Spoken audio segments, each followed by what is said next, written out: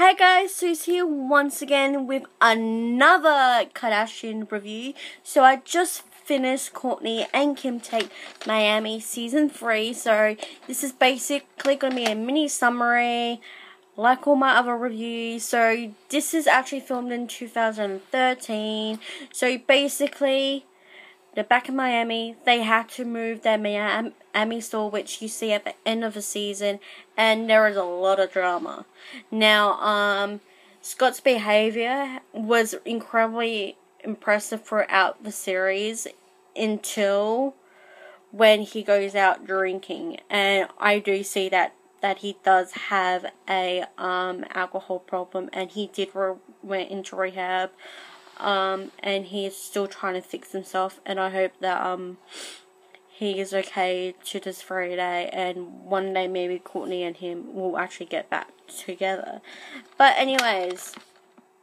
I love the season because at the end of the season, you actually see um, the aftermath of what it's like to investigate a, a sister's boyfriend and the after effects and I understand as a sibling you want to do what's right for your sister and wanting to do loving, lo- loving things for her and wanting to take her over, but sometimes um, it's actually not appropriate to get involved into a loved one's um, relationship drama, but sometimes it's necessary just to make sure that she's okay and also the kids are involved as well.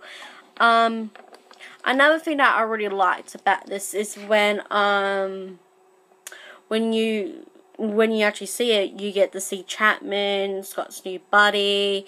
He um meets a, he meets up with a vibrant lesbian community, and it's really really interesting to see Scott really getting into that as well.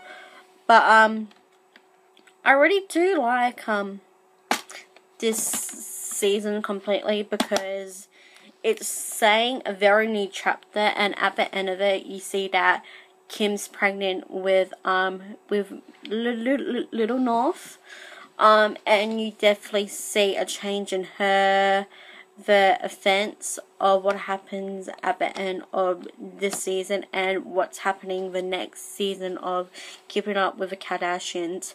I'm very impressed how um they moved into their own home in Miami, and I would love to see where the new dash store is. I want to see a new season of um Take Miami. I really would like to, and also see another season of um Take New York and even the Hamptons, which is from a couple of seasons down the track. So basically, I would summarize that this season is pretty, pretty good. Um, and it's really good. So let me just put it in my little pile right behind me. So if you want to go grab all the series, obviously that is all on DVD. You can get it on iTunes, or you can also see other ser- on the series on other um, social media TV show, whatever, I, I, I really prefer to buy it. Or you can just go on Foxtel and watch it. Simple easy as that. So just before I end this video, guys, um, with season 8 of Keeping Up with the Kardashians is actually in two parters. And I'm thinking about doing the entire season in one or just do it separately. I don't know yet. I just want you, you guys to see what I'm going to do, what I am going to do. But um, I'm going to decide, but what's life as well. So just so you all know, all my links are down in the description of my, of my playlist, including my social media links. Go check them out. Go subscribe, check me out, and I'll see you all for another review. Catch you all soon.